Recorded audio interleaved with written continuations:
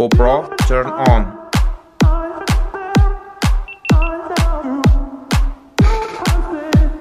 Sveiki visi, tai šiandien pagalvojau reikia paliesti tokią dažną gan temą ir kur žmonės dažnai manęs klausinėja, tai yra action kameros, konkrečiau tai yra GoPro. Pats asmeniškai naudoju GoPro jau 4 metai, jo, pirmąją nusipirkau 2014, tai buvo ši e, GoPro 3 Blackas.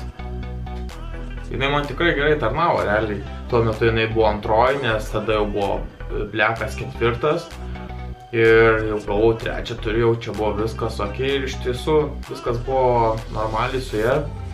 Bet va praeitais metais pagalvojau, kad reikia jau po truputį atsinaujinti ir nusipirkau GoPro 6. Tai praeitais metais šitas modelis buvo pats naujausias. E, šitam video noriu labiau pašnekėti gal tik apie porą aspektų, tikrai nešnekėsiu ant kiek jos geriau filmuoja lyginant, kuri prastesnė, tai tai žinoma, čia kaip ir viskas aišku. Tačiau e, dažniausiai būna klausimas, ką tokio patogaus nešiojimo į kelionę imti. Ir aš per tos keturis metus įsiaiškinau tokią kaip ir vieną auksinę formulę. GoPro reikia pirkti tada, jeigu jūs filmuosite e, lietingomis oro sąlygomis, e, gal net drėgnomis, kur daug e, pūsto sniego ir tiesiog reikės filmuoti po vandeniu. Ir jeigu kažkuriuose oro sąlygose ar po vandeniu jums teks reikės filmuoti, tai e, GoPro yra tas ir number, number one, galima taip įvardinti.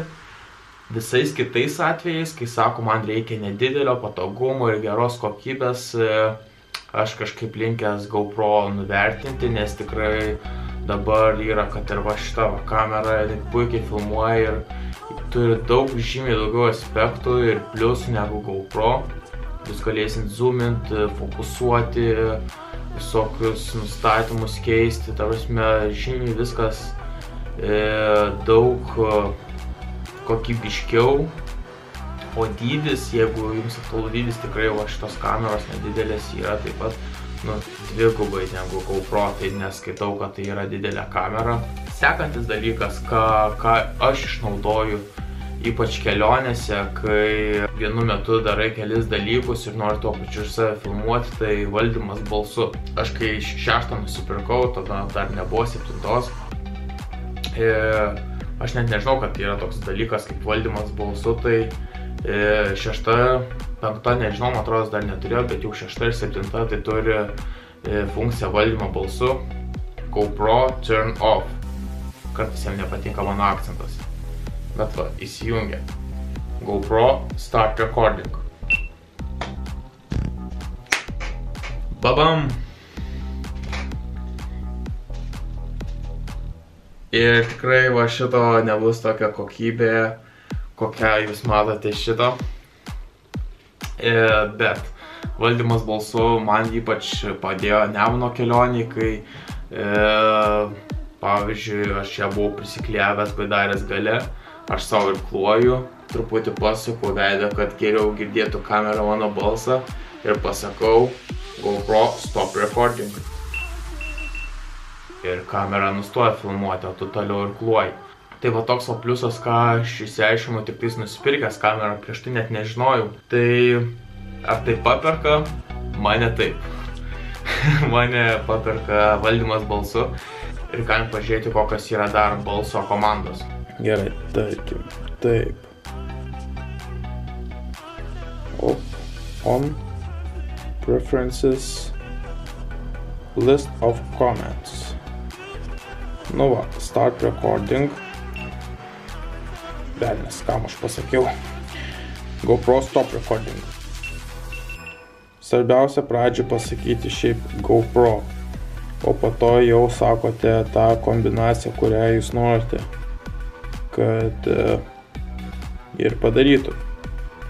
Kas man patinka, kad kaip ir senose GoPro e, modeliuose, taip ir naujose, tu gali tarkim išjungti ją ir be įjungimo iš karto pradėti filmuoti, kaip žinot, tą e, one button function, tiesiog pasakai GoPro start recording. Nu. Gerai. Ja, biški yra tas užvėlavimas, bet e, iš dalies, kaip ką žinau, mane ir tenkina. Tai va šitas dalykas keliaujantiems, manau, yra pravartus. Čia turbūt tiems atvejams, kai jūs kamerą prisimontuojate prie kažkokių skirtingų vietų, kur jums jau sudėtinga e, paspausta jungimo išjungimo mygtuką, ypač jeigu jūs įkišat kamerą į stabilizatorių, tai vėl tada nesinorite labai lysti ir judinti to stabilizatoriaus. Tai va tokios balso komandos man tai yra auksas. E, kitas dalykas, toks niuansas, GoPro Stop Recording